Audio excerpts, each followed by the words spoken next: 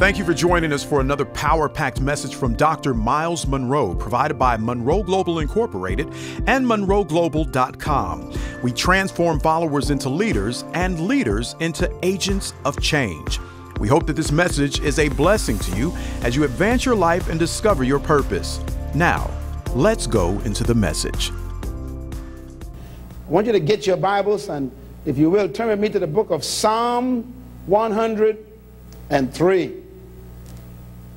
And then go over to Daniel. We're going to read Daniel chapter 2. We're going to talk about the priority of the kingdom of God. The entire motivation of God is his kingdom. Everything God is doing is motivated by his desire and his passion to have his kingdom established on earth. God already has a kingdom in heaven. Today we're going to hopefully learn, if we get to it, what a kingdom is. As a matter of fact, I think it's so important for us to study kingdom because the Bible is not a book about a republic. The Bible is not a democracy. The Bible is about kingdom.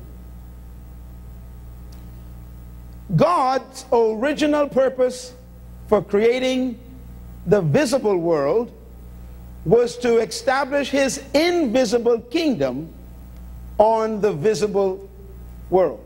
That was his purpose for creation. So God's intent was to have his kingdom influence in the visible realm from the invisible. The invisible produced the visible. Please write that down. The invisible produced the visible. In other words, the visible world is not as real as the invisible world. The visible world is a reflection of the visible world. Keep writing. So, whatever you see in the visible world has a corresponding reflection in the invisible world. Paul, in his writings to the Corinthians, says, We understand that the things which are seen came from those which are unseen. For the things that are seen are temporary, but those that are unseen are eternal. That's why the invisible is more real than the visible. Because the visible is temporary. That's why it has to be sustained.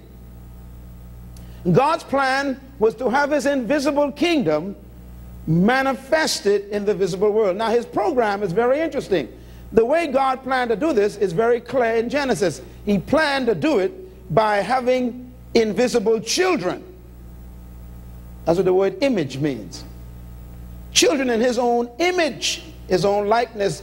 When I use the word children, please don't get me wrong. I'm really talking about sons. And the word sons in the Hebrew is not really relegated to male. It simply means offspring. Something that springs off is called a son. So God calls all of us sons, whether we wear a male body or a female body, we are called a son. So a woman is a son of God. That means a woman happens to be the house, the gender house, but the woman on the inside is a spirit, and spirits have no gender. So the, the female is the house, but the spirit, the man, is a genderless spirit. That's why God calls us all man. Through these children, these sons called man, he intended to establish his visible kingdom. How's he going to do that? He got to give them a visible body, and then he made them a visible planet, and then he put them who are invisible, who are wearing a visible body, on the visible planet. And then he says, dominate that for me, have dominion. The word dominion means to govern, to rule, to control, to manage, to subdue. A kingdom is a realm over which a king has dominion or influence or control or management or administration. And that's what God wanted for you. So you and I were created by God to administrate his kingdom on earth. That's as simple as it is. Adam was an administrator. He was a steward. He was a manager of planet earth. And inside of Adam was everybody we see here today and all who are on the way. Adam was filled with everybody. So we are designed by God to dominate planet earth so that his king dominion could come to earth.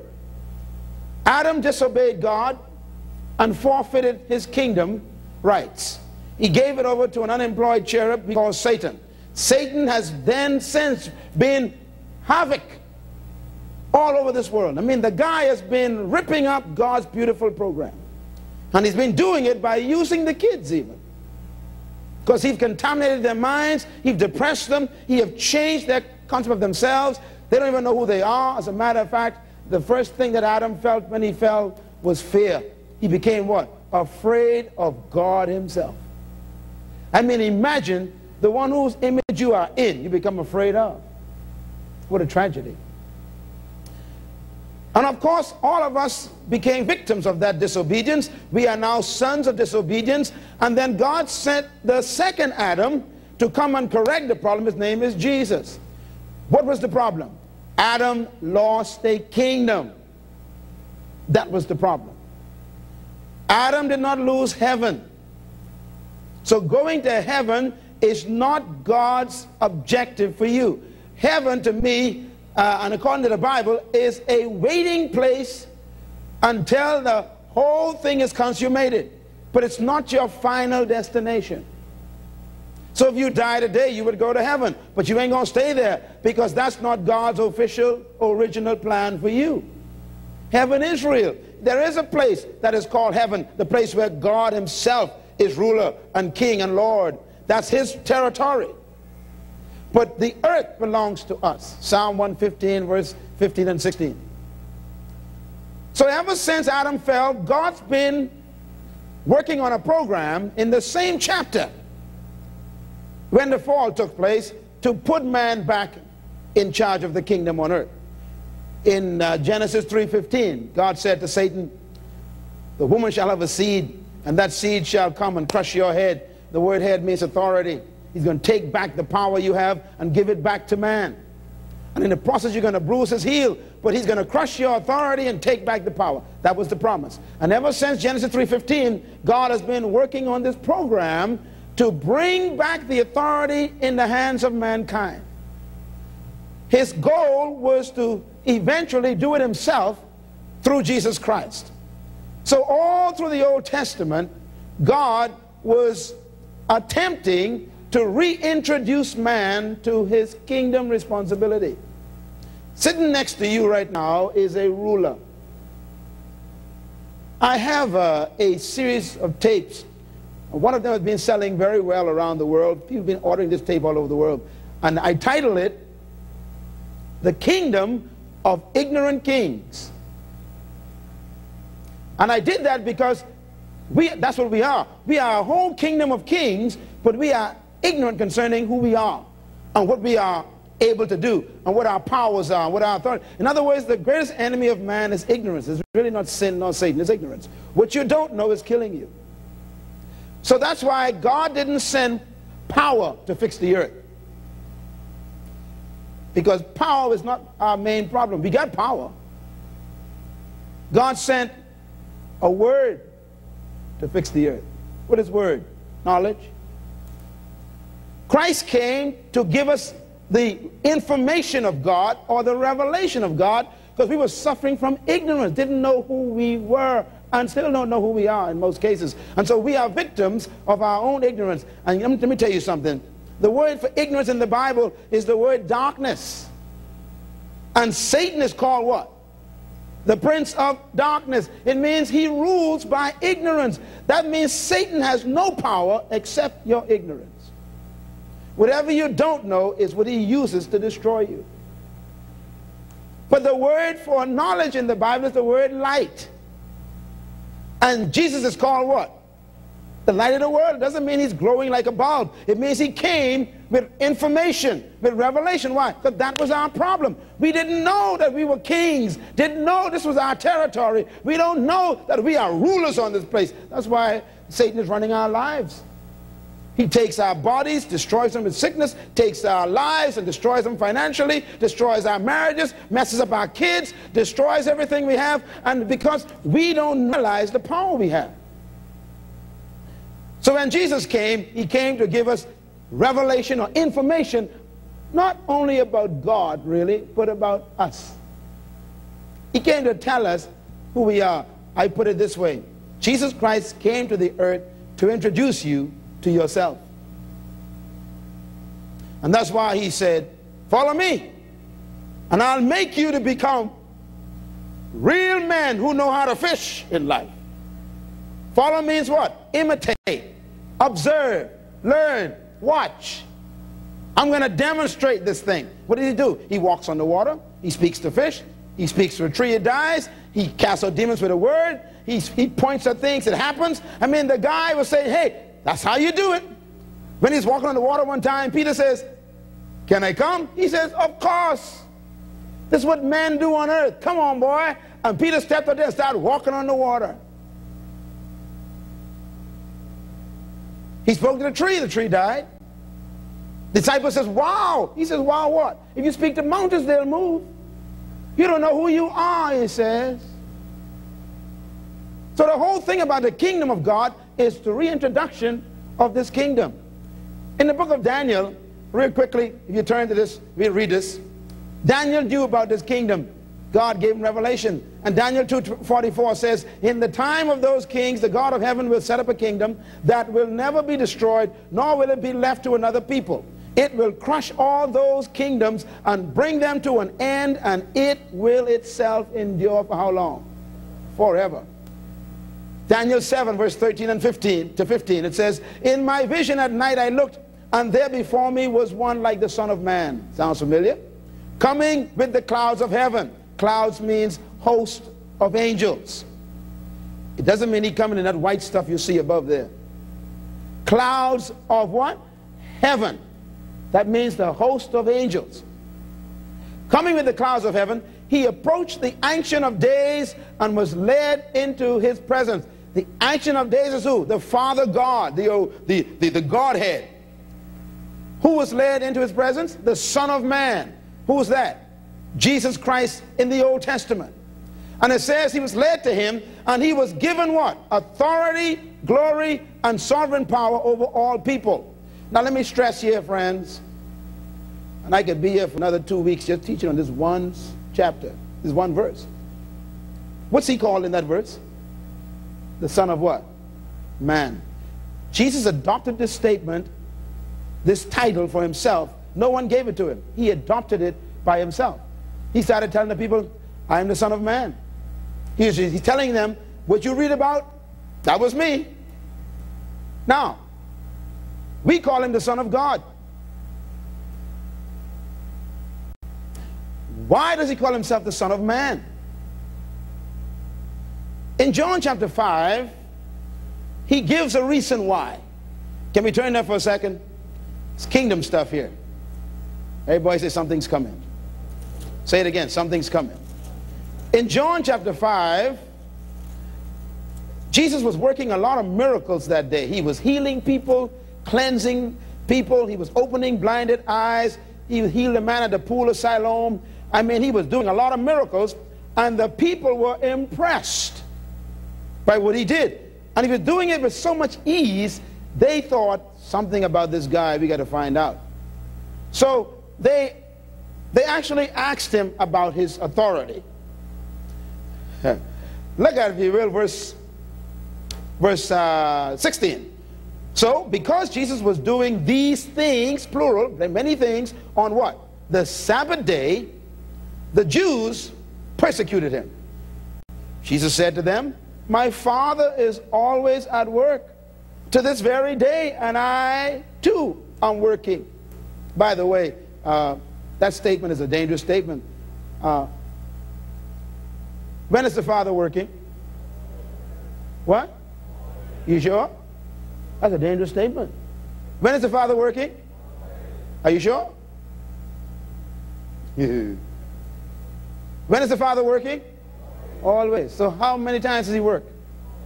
Always. So the Father don't have a Sabbath day. I thought it said that God rested on the seventh day. What was their argument? The Sabbath. What was his answer? God's always working. Now we got a problem with the Sabbath here. Maybe we don't know what Sabbath means.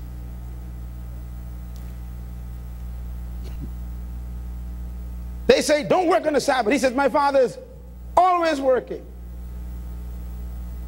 You mean Genesis chapter 2? We misunderstood it? When it says God worked six days and he rested on the seventh day? So on the seventh day he was still working? Maybe he changed his mode of work.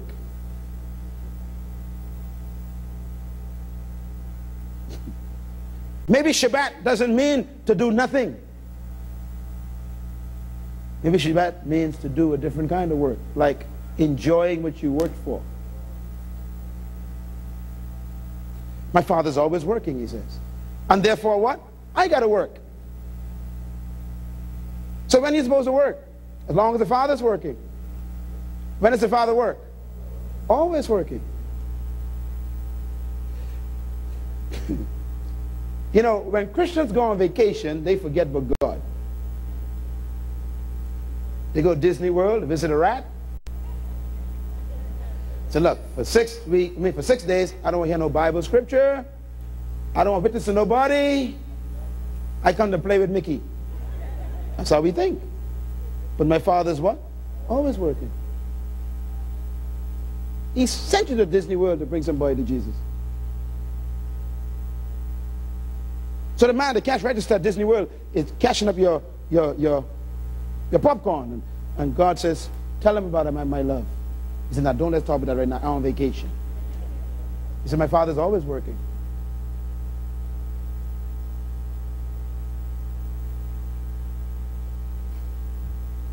I was in the airport, Cincinnati, waiting for a flight. Walked up to get a bottle of water, and the lady across the counter recognized me. She said, you the man on TV? I said, yes, ma'am. She says, and she had three people who were serving before me, and she served them. And, uh, and she said, I'll get to you in a minute. And she served them first. And I said to myself, oh boy, so when I finish, when she finished serving them, she says, uh, what do you need? I said, I need some water. Is there anything else you need? She says, uh, I said, no. She says, can I buy you lunch? She, she run in the store. I said, well, if that's the case. So I told her, she said, anything you want up there, you can get. So I ordered a sandwich and, and a, a bottle of juice. And she gave me this free. And while she's serving me, she says, you know, you know, I, I'm at the end of my wit. She said, you know, I, I, I'm at the point where I'm about to commit suicide. This woman working in the airport, suicidal. She says, and I told God today when I woke up, I said, God, if you don't give me a word this morning, today, I'm going to kill myself tonight. Found out that she was on drugs, trying to kick heroin. She was very skinny, eyes were falling in. I mean, the girl was in a, in a terrible state. And she says, I, am so sick and tired of taking drugs. She, she said, this is my 19th job.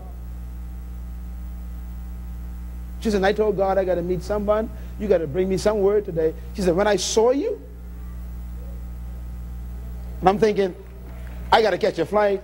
I ain't got no time. And I heard the words, my father is always working.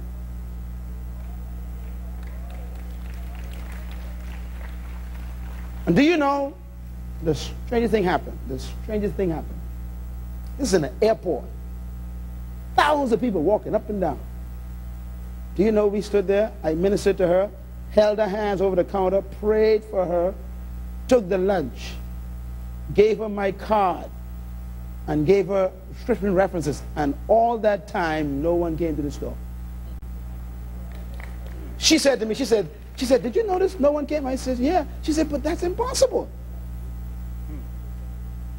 She said, You came to save my life. Tell your neighbor, God's always working. He's always working.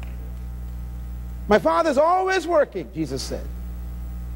And therefore, I must also work. But now, watch his answers again with regards to the Son of Man.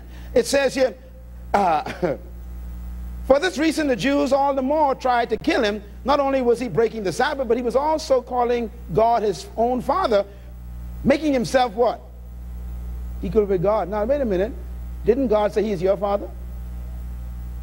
See, in the Hebrew, if someone is your father, it means that you came from the same source. It means you are the same stuff. The Jewish theology did not have a fatherhood image of God. They were afraid of God. God was a consuming fire, a terror to them. And here comes this man in the flesh calling God my source. In other words, I and my father are the same stuff. They said, You cannot be God. Well, when you call God your father, you're saying that you are a little God. So they couldn't handle that. They tried to kill him. Well, look at this verse. Verse 10. Sorry, verse 19. Jesus gave them this answer I tell you the truth. The Son can do nothing of himself, but he can only do what he sees his Father doing. Because whatever the Father does, the Son also does. Everybody say, I'm a son, so I can do what my Father does. For the Father loves the Son and shows him all he does. Yes, yet to your amazement, he will show him even greater things than these. Now, watch this. For just as the Father raises the dead and gives them life, even so the Son gives life to whom he is pleased to give it. Moreover, the Father judges no one, but has entrusted all judgment to who? The Son. That all may honor the Son just as they honor the Father. He who does not honor the Son does not honor the Father who sent him. I tell you the truth. Whoever hears my word and believes him who sent me has eternal life and will not be condemned. He has crossed over from death to life. I tell you the truth. A time is coming and has now come when the dead will hear the voice of who? Who? Who? The Son of God. And those who hear will live. Now, the dead's going to hear whose voice? Not the Son of Man, the Son of God. For as the Father has life in himself, so has he granted the Son to have life in himself. And he has given him authority to judge because he is the son of what? Son of who? Son of who? Don't read this quickly. Jesus changes on us. When they talk about his omnipotence, the coming at the end of days, with the trump of God to raise the dead, he says, When I show up that way, I'm the Son of God. But he says, to judge on earth. To judge means to act righteously. These healings, these deliverances, these miracles. He says, I do them because I have the authority as who?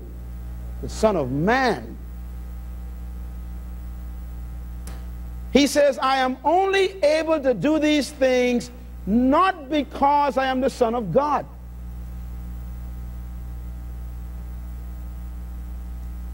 Because as the Son of God, listen carefully, I am illegal.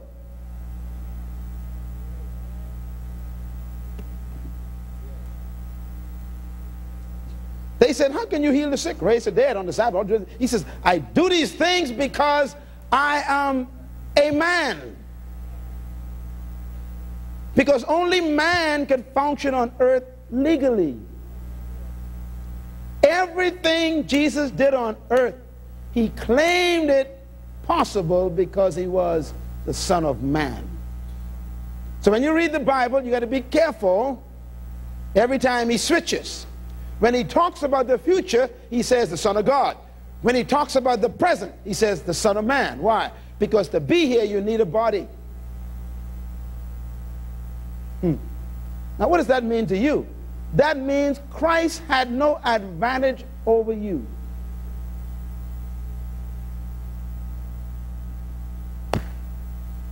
Some of us think that because he was God in the flesh, that he was better or more equipped than us. No, he had the same stuff you get. He had the Holy Spirit. He had a body that could get tired. He had to rest one day, drink water. He got thirsty. He was tempted to quit. Oh, yes, he was. He wanted to find another way out of this thing. He went through the whole thing. Why? Because he was the Son of Man. And that he claims to be his source of authority.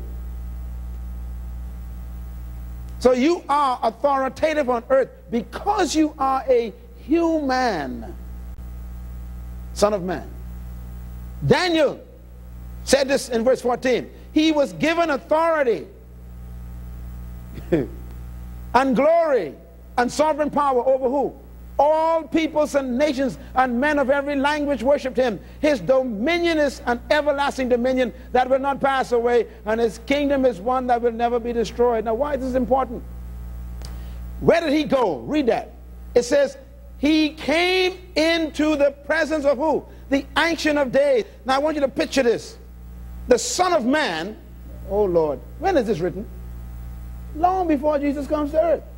Daniel had what? A vision of the future. He saw God's kingdom being established by a person called the Son of Man, and Daniel saw the Son of Man coming into the presence of the Ancient of Days to get some stuff. What he comes to get? Authority and the nature of God.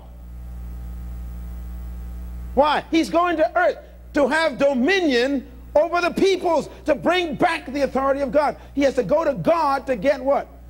The authority. How did God give him the authority? By making him the Son of Man. Is anybody with me at all?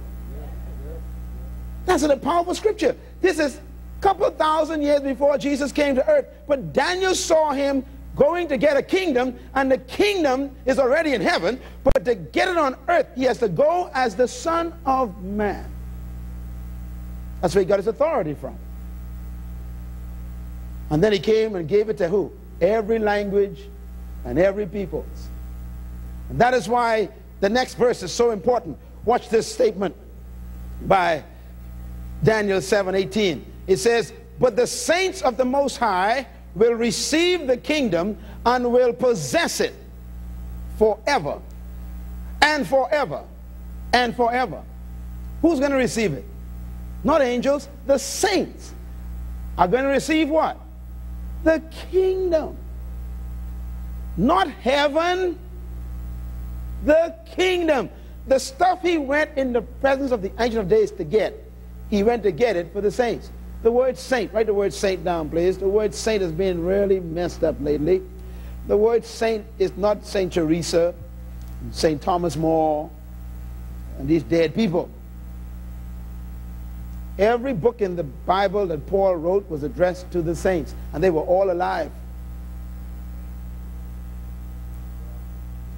You know, so don't let any philosophy cause you to believe that saints are only dead people. Every believer is supposed to be a saint. The word saint is from the word sanctified.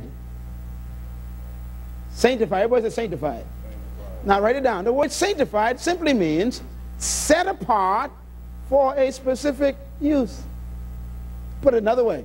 Sanctified means to be isolated for a specific purpose. So a saint it's not somebody with a long robe and some veil on or something. A saint is anybody who was being set apart for a specific use. You can sanctify a cup. You can sanctify a table.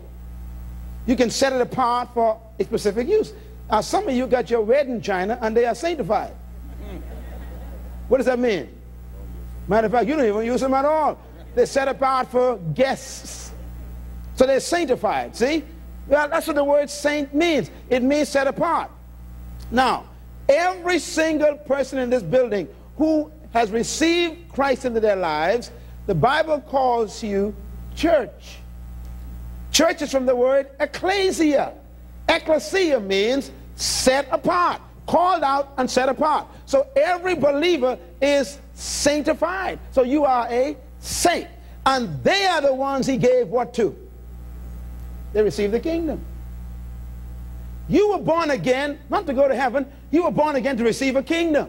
What is kingdom? Dominion, authority, power. I mean rulership. You were created to be in charge of this situation. This week, praise God.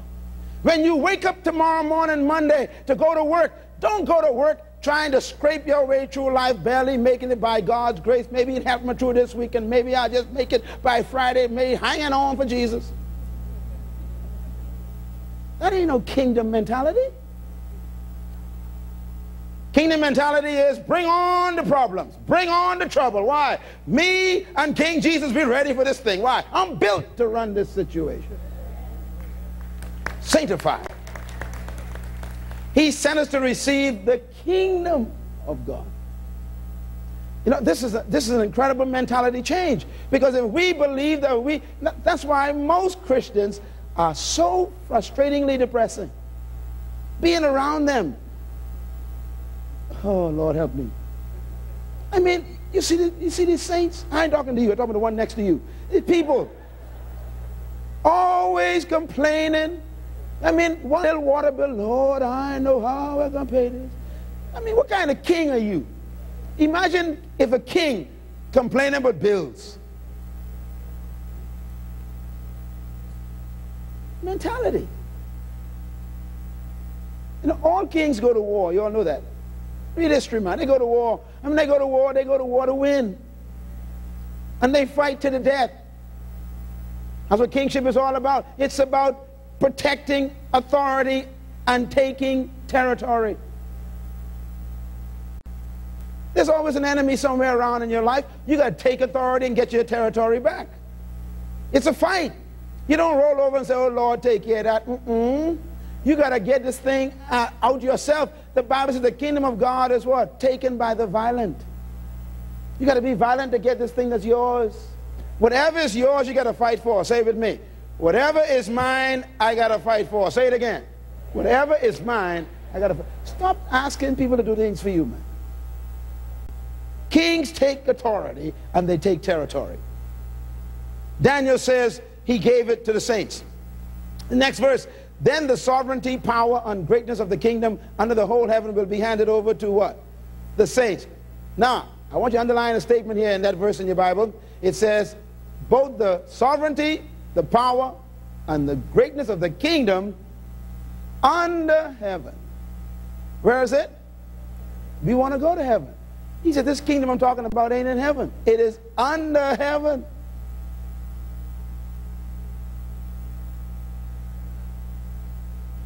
What I'm trying to do, really, before you die, is to get you out of heaven.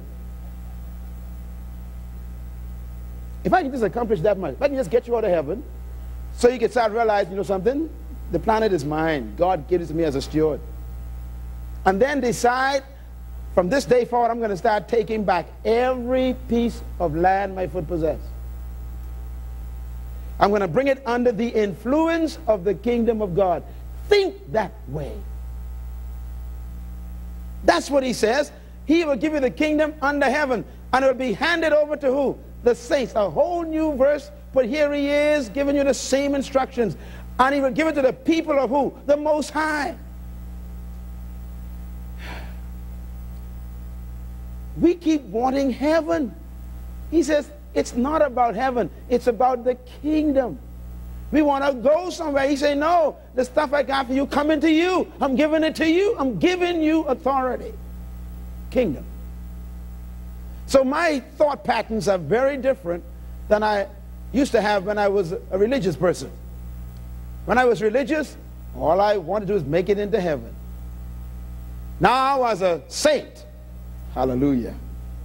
As a citizen, glory to God, all I want to do is to stay on earth. I want to make earth exactly what he said when you pray. He said, Pray, thy kingdom come, and thy will be done, not in heaven. When we leave here, people should know that there is a kingdom. In Acts chapter 8, verse 12 and 13, very powerful verse. Philip preached the kingdom of God.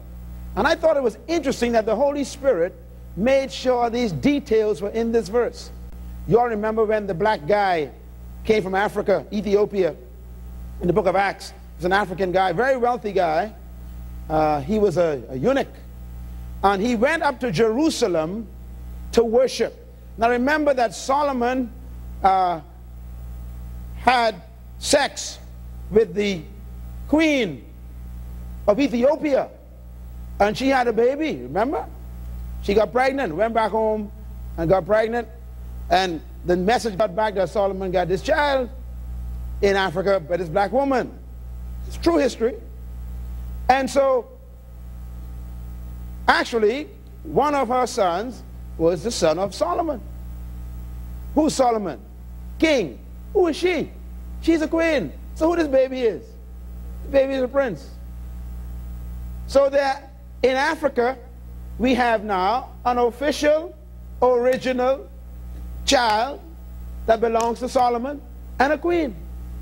So now, therefore, the Hebrew people have African roots.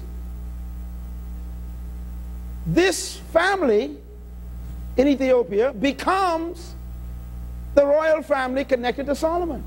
That's why the Rastas got their ideas from.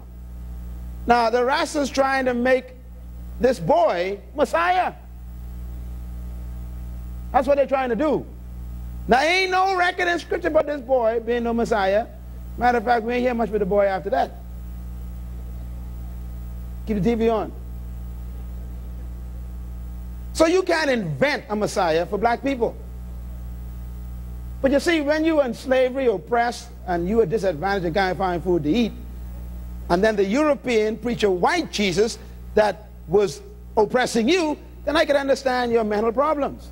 I could understand why you say, well, that can't be the white Jesus for me because the white Jesus sent the white man from Europe to oppress me and make me slave. So it got to be a black Messiah somewhere. And so you go looking for him and you find him in Ethiopia and you try to connect him to the lion of Judah. There ain't no lion of Judah connected to this boy. This is an illegitimate son that Solomon lay with this woman. I'm trying to show you where the, where, where, where the, the, the eunuch comes from. This African man from Ethiopia is from that tribe, from that family, because they began to worship the God of Solomon. Remember, the queen of Sheba was impressed by Solomon. And Solomon says, All I have is because of our God, Jehovah, Yahweh. And she says, I believe in your God. So she became convinced. And instead of worshiping those idols back home, she took Back home with her and told the family with the baby. And that must have been a sight. And she come back home pregnant. Now keep in mind, by the time she get home, she's showing because it took months to get home in them days. So she got home pregnant. Now she couldn't even hide it. She got home big.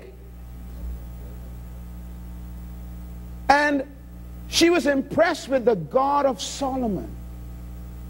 And that's why today, the first evangelistic outreach of the church took place in this chapter. This was the first international outreach by the church. It's this black man, where was he going? He was going back home to Africa. Where he been? The Bible says he went up to worship. Where? Because every Jew once a year had to go to Jerusalem to the temple to take a sacrifice and to worship Yahweh. That was the tradition. So the Africans from Ethiopia who were Solomon's descendants also did the tradition. They came up and they worshiped and went back home. This man is on his way back home. While he was in Jerusalem, praise God, somebody told him that a few weeks ago a man was preaching healed the sick, raised the dead, cast out demons, cleansed the leper, and this man died on the cross, and this man changed the whole place, and the Ethiopian trying to figure out who is this man. Now, where's the Ethiopian? He's in the temple. He's worshiping Yahweh, and he heard the rumors about this man. He is reading, what is he reading? He is reading the book of Isaiah. Where did he get that from? He got it from his mama or from the queen. The queen brought the scrolls back home from Solomon, and so now she, she has the scriptures back in Africa. By the way, that means the roots of African convictions in God go way back beyond slavery. They got the word before the Europeans. So here comes this guy. He's reading. And by the way, black people couldn't read. Anyhow. So he's reading. And the Bible says, and guess what? Black people was rich. He was riding in a chariot reading, which means that he wasn't driving. Come on, man, clap. That's a good place to clap. The Bible says he was reading in his chariot on his way back to Ethiopia. And while he's reading, he got to a place in Isaiah where it says, He was bruised for our iniquities. The chastisement of his peace was upon him. And with his stripes we were healed. And he's reading this point, and he got confused and couldn't figure out who was this talking about. And the Bible says, while he was pondering this in his mind, Philip was in a revival in a small town, and while in a middle of revival, people getting healed and saved, the Holy Ghost came, and this is where a miracle starts. It says, it translated Philip. Took him out of the revival. I know how that happened. He just vanished. Where's the preacher? The preacher was here just now. The Bible said Philip was taken up by the Holy Ghost and translated, transported, and he came alongside the chariot. Could you imagine you reading this guy appeared just jogging behind? All right, what you reading? and so the Bible said that chapter is a good chapter to read. Interesting chapter. Got to make a movie of that one day. And he asked the guy, he just asked the Ethiopian. The Ethiopian said to him, Who are you? He says, I'm Philip. And he says, What are you reading? He, and he got, the Ethiopian says, I'm reading this Isaiah, but I don't understand it. And the Bible says, Philip said unto him, Would you like to understand? Understandest thou what thou readest? And he says, No, I don't understand. I read it, but I don't understand it. It sounds like a lot of us eh, saying, reading it, but don't understand it. And here's what Philip says. But when they believed Philip, as he preached the good news, the kingdom of God, that's the Ethiopian and his, and his colleagues there who were with him, it says, in the name of Jesus they were to be baptized, both men and women. Simon himself believed and was baptized, and he followed Philip everywhere, astonished by the great signs and miracles he saw. Now, he preached the good news of what? That's what I want you to watch. What did he preach? He preached the kingdom. What have we been preaching? We've been preaching salvation, healing, prosperity, Solomon, heritage, got the message of the kingdom. What do we got? Philip knew the gospel. The gospel was the gospel of the kingdom, and that's what he preached. He didn't preach born again. He preached the kingdom to these people.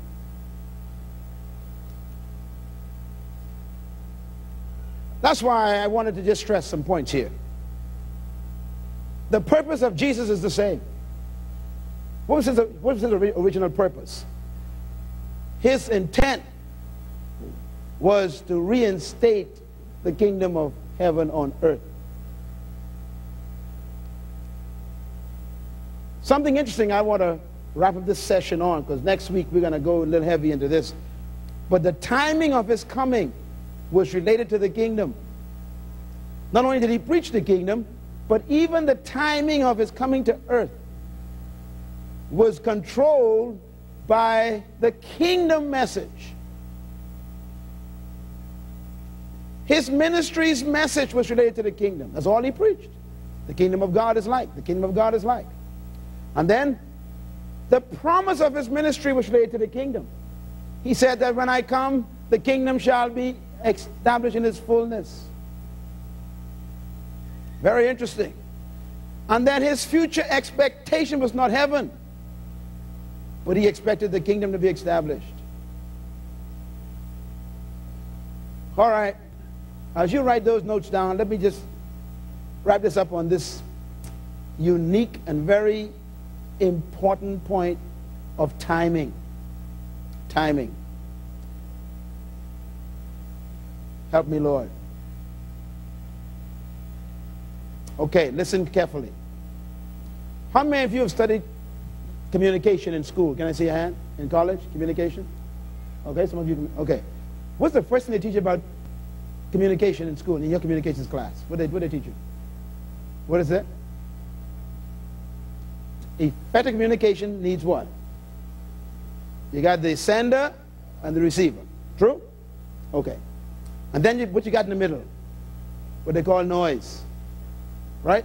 So if I got to give you a message, listen carefully now. In communication, they say, I am the sender. I got the message. You are the receiver. I got to get it to you. Now, between me and you is a whole lot of thing they call noise. Noise is people getting up, walking around, distracting you. You know, something bites you on your foot, a mosquito or something. You know, maybe somebody make a loud sound or whatever. Uh, a baby cries. I mean, there's a lot of noise that can interrupt my message, so you miss it. Secondly, they say that for communication to be, to be successful, you need what they call, ready for this? You need to, what they call understanding or definition of terms. Follow me carefully. In other words, if I'm going to communicate to you anything, the words I use, whatever my definitions are, they got to be yours too. Are you with me? Otherwise, we can't communicate. For example, if I said, give me some bread. Now, in 1960s, I'd give you money.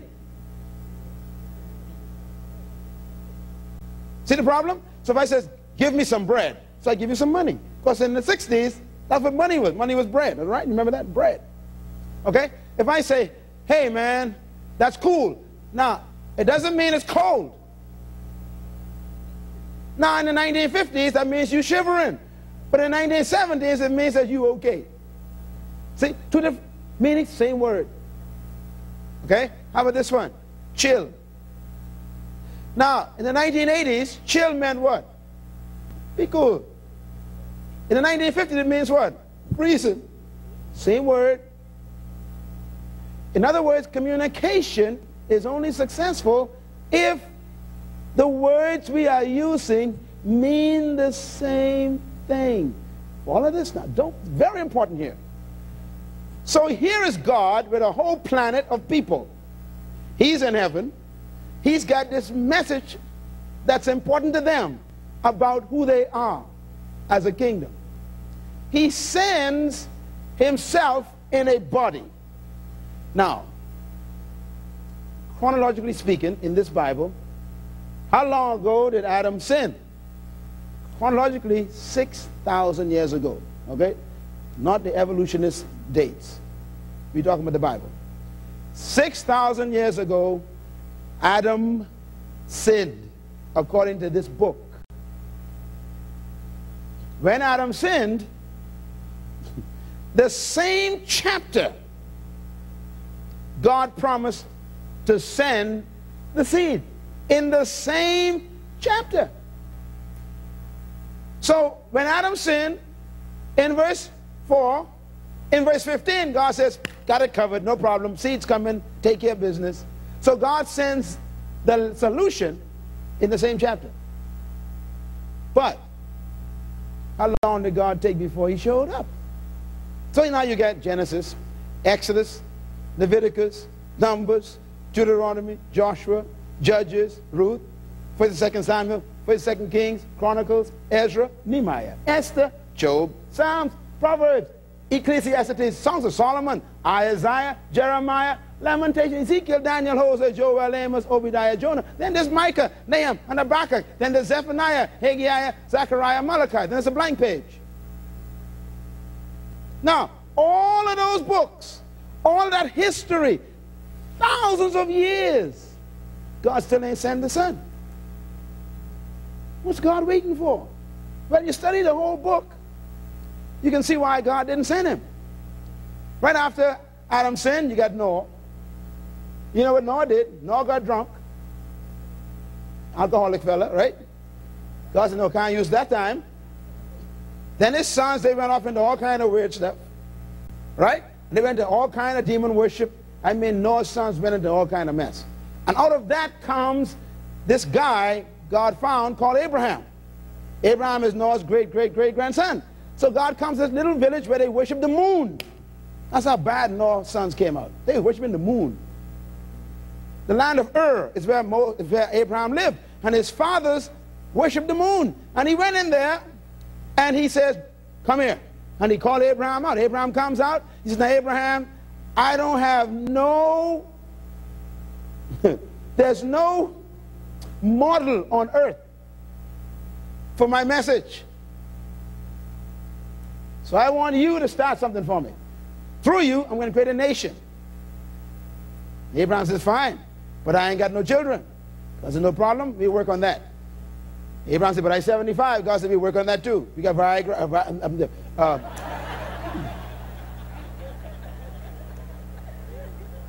I just thought I'd throw that in for you guys who need help. so, God works a miracle. At age 100, Sarah has a baby. His name is Isaac. God still ain't got a model for the kingdom. Isaac has two sons, Isaac and Esau and Jacob. He says, Jacob, I'm going to change your name to Israel. So through Israel, has 12 sons. These have come 12 tribes of Israel. God says, fine. He said, I'll tell you what I want to do. Watch God now. God says, I'm going to try to set this model up. Listen carefully. He says, look, you will be my people, and I'll be your God. Got it? Good. So tell you what. There'll be no one between us. It'll be the people and God. God never wanted a king. He why? He says, I will be your king. You will be my kingdom. That's all God wanted. He says, now tell you what. I'm going to organize a situation where you guys will have communion with me through this worship thing. I'll come to you. I'll talk to you. You'll do what I say. Bring the nations back to me. Got it? Good. So the people says, fine.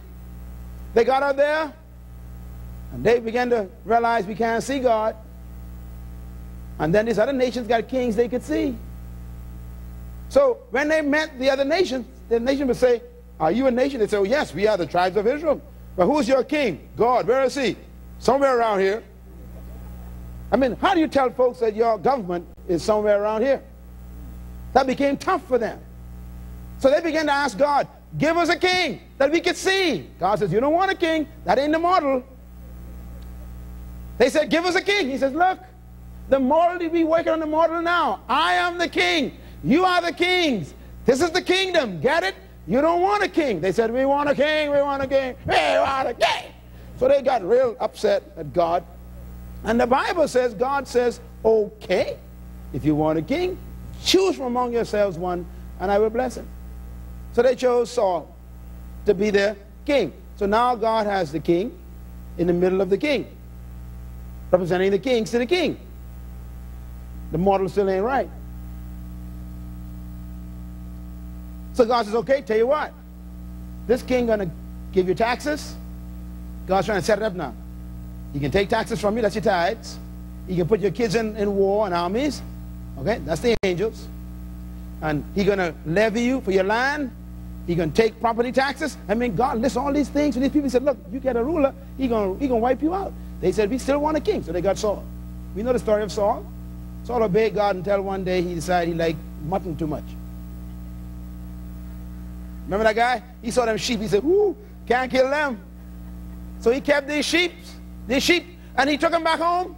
And when, when God said, I told you to kill the sheep, he said, I kill them. He said, but I heard the sheep bleeding. He said, that's right. I know. I don't know. Interesting story about Saul. So the, so the prophet comes. Simon said, Saul, why did you disobey God? It's more important to obey God than to worship. And Saul says, oh boy, ask God to forgive me. He said, God can't forgive you no more because you break the law. And then God chose another one named David to take his place. David becomes king. Now David is a good fella. David is now raised up by God to try to get the model. What's God looking for? A model to create a kingdom so he could preach a message to the nations. David says, The Lord is my God, and my people shall be his people, and he shall be my God. God said, We're getting close. And then David became a mystery. God says, David, I want you to be a king and a priest. So David wrote worship songs, but he also was an administrator. He wrote the largest book in the Bible, the book of Psalms. He was a king, but yet he was a worshiper. God says, This is good. It's close. Wonderful. But still ain't got it because now David committed adultery, messed things up. What happened? The kingdom is split in half after David is, is, is killed. The people divide. God says, oh, the model is gone. Now the people are scattered into Babylon, they are all messed up. And Daniel starts getting information. Daniel says, look, the kingdom is still around. God has a kingdom idea. He's going to bring this kingdom, give it to the saints. We get the story. Jesus still ain't come. He goes into Babylon under Nebuchadnezzar. The people are there now under burdens. So they went to Pharaoh. They went to, to the Babylonians. They were under the Assyrians. They were under the Chaldeans. They were under oppression. I mean, every single generation under oppression. God said, I got a problem here. And guess what? When the Babylonians finished, then the Assyrians took them, made them slaves. Then they went into the Amorites and the Hittites and the, and the Moabites and all the other ites and the Canaanites, and they became slaves to everybody. Then the Greeks came, and the Greeks began with philosophy. These are thinkers. And they used their philosophy to win the whole world, man. The Greeks could talk you out of everything. That was their gift. They were philosophers. Socrates, Plato, Aristotle, I mean, that's where they came from, the line of Greeks. The Greeks were thinkers. And they ran the whole of Europe because of their philosophy. Keep following me quickly? The, the Greeks ruled for many, many years, and then there came another empire known as the Roman Empire. Now God's getting excited because now this is the first empire in history who takes a model and sets it up. And the model is exactly like the kingdom of God. The Romans are the only empire that sets up an administration that resembles the kingdom of God. How did they do it? Listen carefully, quickly. The Romans were the only ones who would invade a country, but they wouldn't remove the people. They would take over a country, they would leave the people in the land. Now, every other empire before that did the opposite the Babylonians, the Syrians, all those nations that came in, they would take the land and the people. Take the people out of the land, take them back as spoil, and put them in their land and make them slaves to them. Every empire did that. That's why the, the Jews were in Babylon under Nebuchadnezzar. He took them out of Palestine, brought them into Babylon, and make them slaves. But the Romans were the first ones who did the opposite. They would come into a nation, take the nation, take control, but they wouldn't take the people out. They would leave the people in the land, but they did something strange. They would then go back to Rome. They would choose a governor, send him to that place that they took over. And that governor came from Rome. He was a Roman. And he came to that area, and his job was to govern that area and turn that area into Rome. Eh, am I clear? That's the difference between the Romans and every other empire. That's why the Romans took over the largest piece of property of earth. They became the greatest empire in history. Why? They had a system that worked. The system was you take over and you send someone to run it and leave the people there and turn the people into Romans.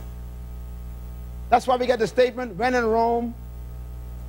Okay, and what that means is, look, anytime you go into a Roman territory, you got to act like who? A Roman. Otherwise, they will kill you.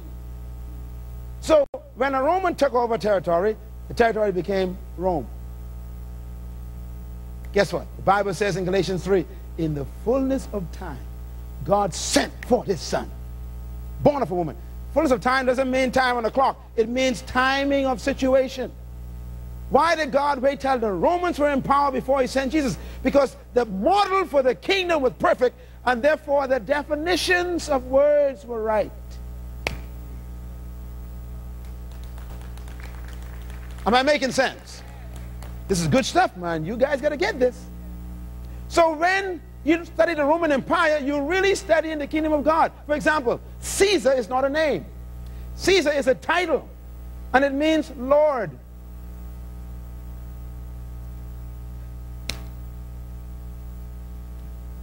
The Romans established a word called ecclesia. That's a Roman word. and it means church. Caesar had a church. What is church? That's the Senate. That's the group that ran the empire. They were called ecclesia, church. Y'all talk to me, man. I can finish right now, we got to get this. The next one, the governor, for example, Pilate was a governor. The governor never spoke for himself. He only spoke when Caesar told him to speak.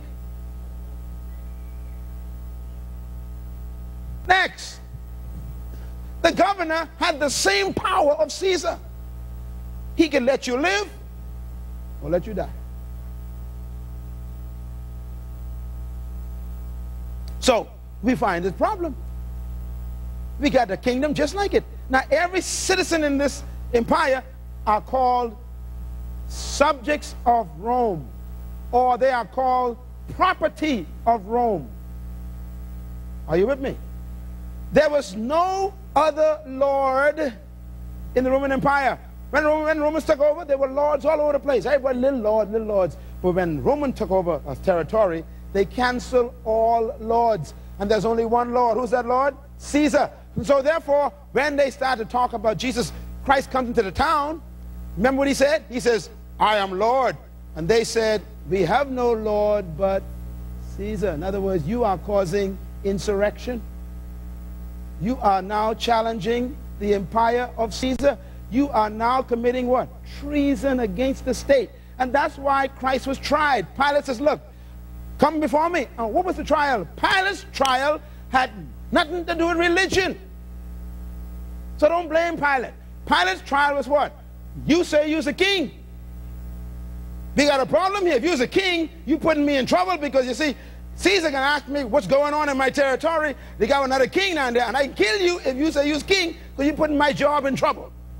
Hey, you understand Pilate's problem? So Pilate says, Are you a king? Christ says, You say so. In other words, Christ is trying to save his head and his job. What, what was the complaint? They said, There's a man in the street, Pilate, and they are calling him Lord. Pilate says, Lord? Oh dear. Tell him come. And he says, Are you a Lord? Do you own people? Only Caesar owns people. When they said taxes, Christ says, Oh, taxes? No problem. Uh, give me a coin. They gave him a coin. He says, Whose head is on that? They said, The Lord. He says, Good. Then give to that Lord what is his. See, it was a kingdom argument. So God sent Jesus at the right time when every word that he speaks could be understood. Clap your hands. We'll pick up here next week. Thank you once again for listening to this message as we hope that it has been a blessing to you. Our goal is to show you new paths and opportunities so that you can discover your purpose. It is your love, support, and partnership that makes Munroe Global possible. Please visit us online at www.munroeglobal.com for more product, partnership, or to join us at one of our live events around the world.